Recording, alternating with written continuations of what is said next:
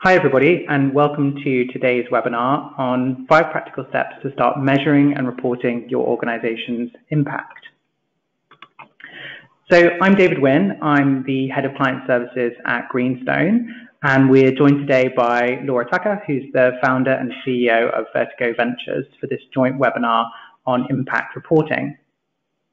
So thank you for joining us today. Um, you will be able to submit questions um, through the GoToWebinar. Um, alternatively, please do email us directly with any questions that you have um, if you're listening to this pre-recorded. So our contact details um, will be at the end and also included within the email invitation. We're really interested to get your questions around this area. It's a very interesting topic, so please do send those through to us directly, uh, and we're happy to follow up with any questions you may have from today's content within the webinar.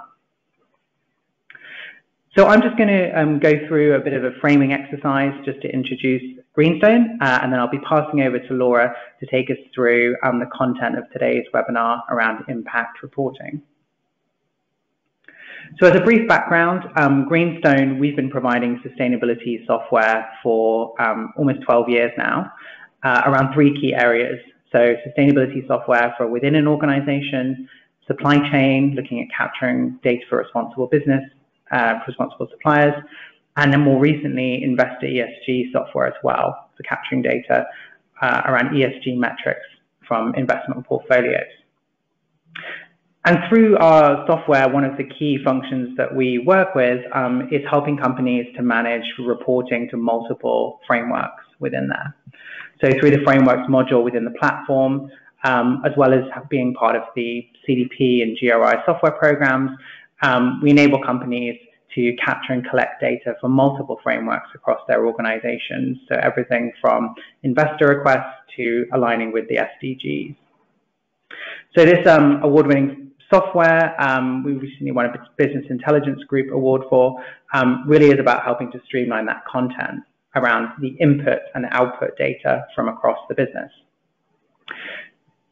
So as a result of having this function within our software platform, we get asked very frequently about how companies can take this data and information and translate that into reporting on impacts and the impact that their business is having on social and environmental issues in particular. So about a year ago, um, we worked on a study to look at this space uh, and released a report back in June 2018 uh, on the social environmental impact reporting landscape. Um, so this is still available through our blog, um, so you can have a look at that, that content if you wish. Um, really looking at the different methodologies and um, what's out there within this space um, to see how companies were leveraging that. And from an innovation perspective, you know, as a software company, we're very closely looking then at how we can embed functions to then enable that in the future. So that was about a year ago, um, and so we thought it was an opportune time really to have a look at this space um, again. And so that's why we are working with uh, Vertigo Ventures, and that's why Laura's here today to really um, give us that expert opinion on um, the impact reporting space.